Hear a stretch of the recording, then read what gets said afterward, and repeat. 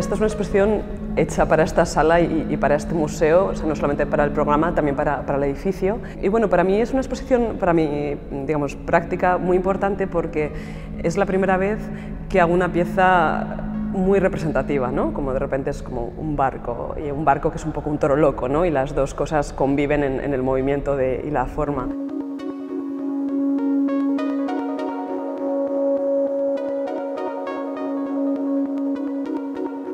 El título se llama Emelim, que es un palíndromo, que es una palabra que significa básicamente algo que se puede leer desde el principio o desde el final de la palabra, eh, o sea, es igual, es decir, como Emelim y Emelim. Entonces, la pieza en sí, que también tiene un movimiento que es bastante parecido en ese sentido.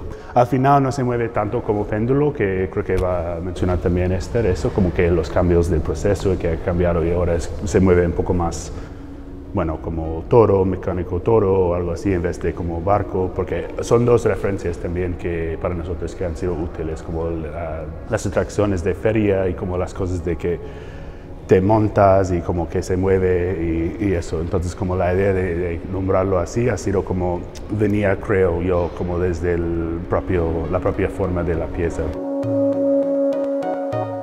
Quería trabajar con un material eh, que fuese translúcido, que fuese ligero, que cogiese, bueno, el plástico, ¿no? Pero que, que, fuese más ético, ¿no? Y entonces el bioplástico es una buena solución y entonces lo, lo desarrollé con un laboratorio alemán que se llama Materiability para poder hacer algo que, que, funcionase, o sea, que no se estropease ¿no? y tal. Y digamos que me gusta ser capaz de, de, producir, en la medida de lo posible, un trabajo que habla de contaminación y de polución y de exceso, pero en, la práctica no lo es tanto. Pero bueno, eh, digamos que aparte de bioplásticos, por ejemplo, esta es la primera vez que hay, bueno, eso lo iréis descubriendo, ¿no? Pero hay, hay pegatinas, hay como maquillaje de ojos, eh, hay una serpiente de goma, o sea, es una pieza muy en la que mi trabajo casi era como invitar, dejar entrar, eh, editar muchas conversaciones diferentes que no estaban juntas antes.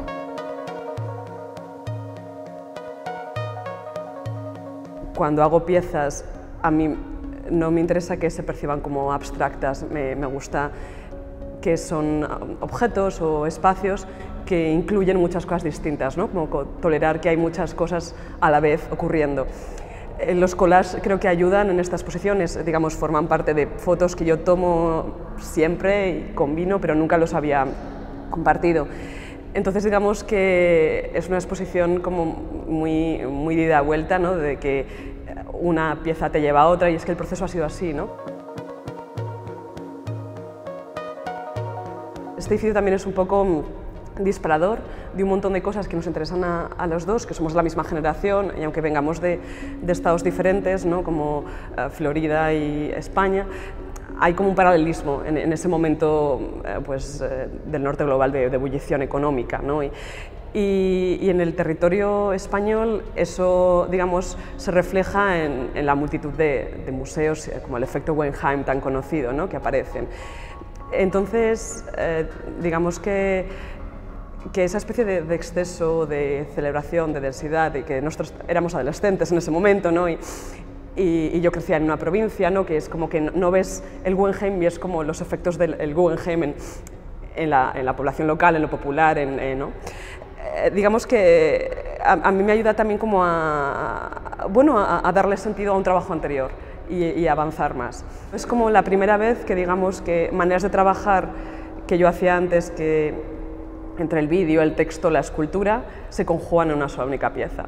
Y en este sentido, es, yo creo que es muy importante el movimiento de, la obra. Es bastante poderoso porque es como, tú no necesitas subirte para sentir como esa especie de, vibración, ¿no?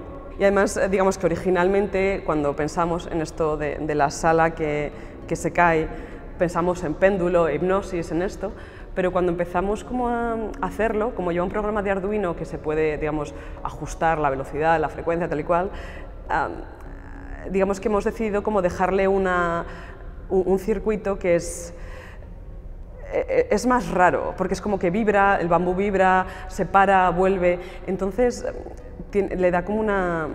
hay como un momento de vida.